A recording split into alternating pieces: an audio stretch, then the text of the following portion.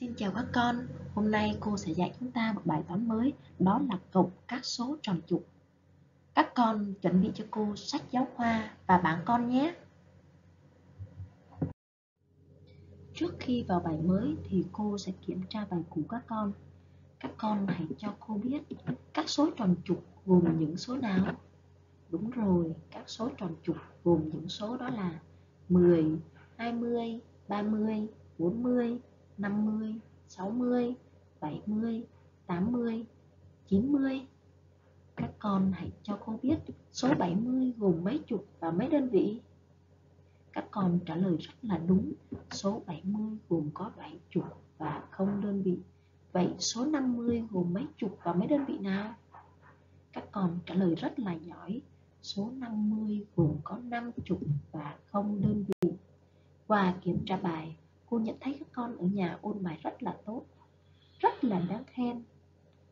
Các con tự vỗ tay khen mình nào. Sau khi kiểm tra bài xong thì cô và các con sẽ qua bài học mới, đó là bài cộng các số tròn trục. Các con quan sát lên màn hình và cho cô biết cô có 3 bó que tính, mỗi bó có 10 que tính. Vậy cô có bao nhiêu que tính? Cô có 30 que tính. Vậy 30 gồm mấy chục và mấy đơn vị? 30 gồm có 3 chục và không đơn vị. 3 cô viết ở hàng chục. Không cô viết ở hàng đơn vị. Tiếp theo cô có hai bó que tính, mỗi bó có 10 que tính. Vậy cô có bao nhiêu que tính nào? Đúng rồi, cô có 20 que tính. Vậy 20 gồm mấy chục và mấy đơn vị? Các con trả lời rất là tốt. 20 gồm có hai chục và không đơn vị. Hai cô viết ở hàng chục, không cô viết ở hàng đơn vị. Vậy muốn biết có bao nhiêu quái tính, cô phải thực hiện phép tính gì? Cô phải thực hiện phép tính cộng. Cô đặt dấu cộng ở giữa số 20 và 30. Cô có phép tính 20 cộng 30 để muốn biết 20 cộng 30 bằng bao nhiêu thì cô và các con cùng nhau thực hiện nhé. Đầu tiên cô sẽ lấy hàng đơn vị cộng hàng đơn vị. Cô lấy 0 cộng 0 bằng 0, cô viết 0. Sau đó cô lấy 3 cộng 2 bằng 5, cô viết 5. Như vậy 30 cộng 20 sẽ bằng 50. Để cho dễ quan sát hơn thì cô và các con cùng nhau thực hiện ra ngoài cho dễ quan sát nhé. Đầu tiên cô viết số 30 Sau đó cô viết số 20 ở dưới số 30 Sao cho chúng thẳng hàng với nhau.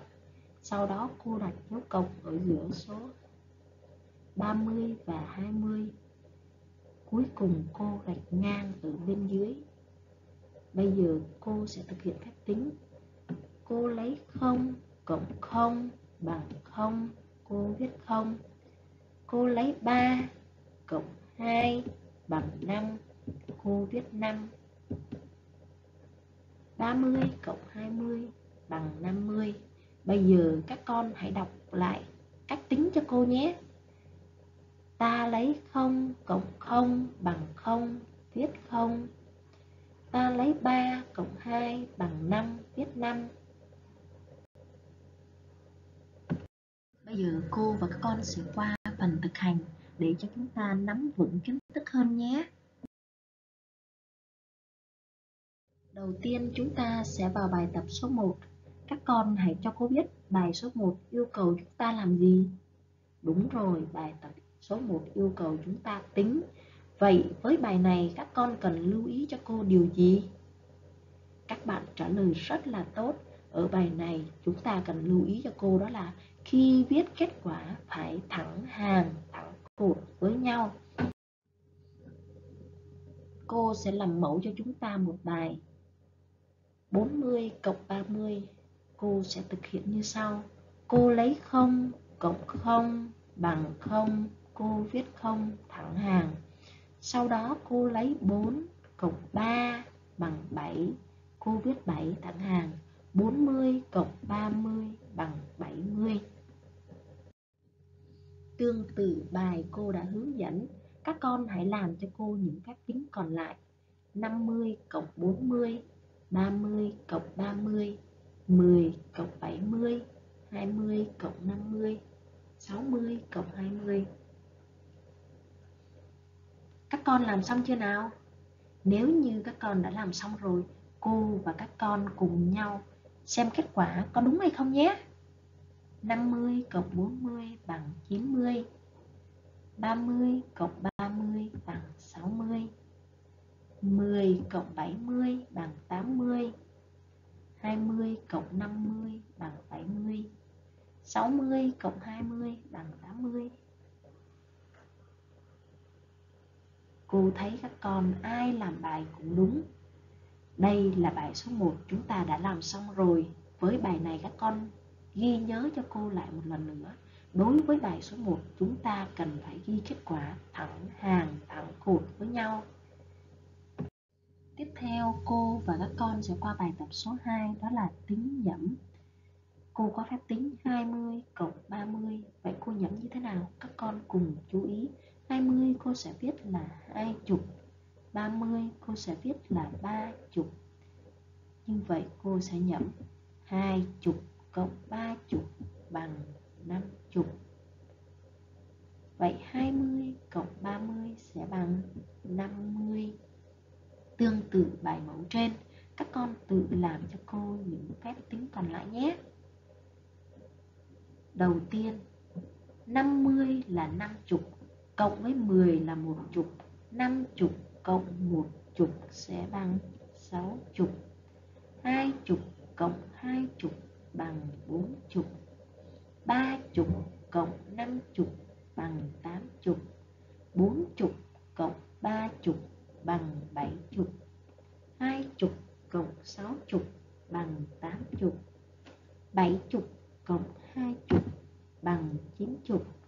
Năm chục cộng bốn chục bằng chín chục bốn chục cộng 50 bằng 90 20 cộng 70 bằng 90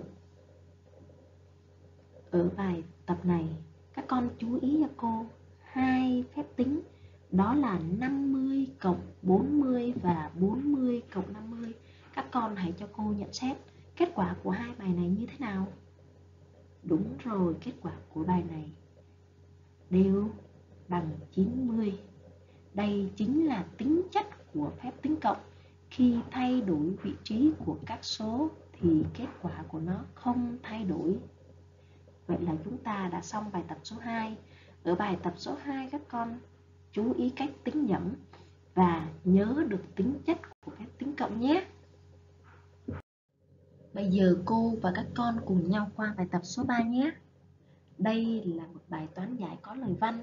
Để làm được bài này, trước tiên các con phải đọc cho cô thật kỹ đề.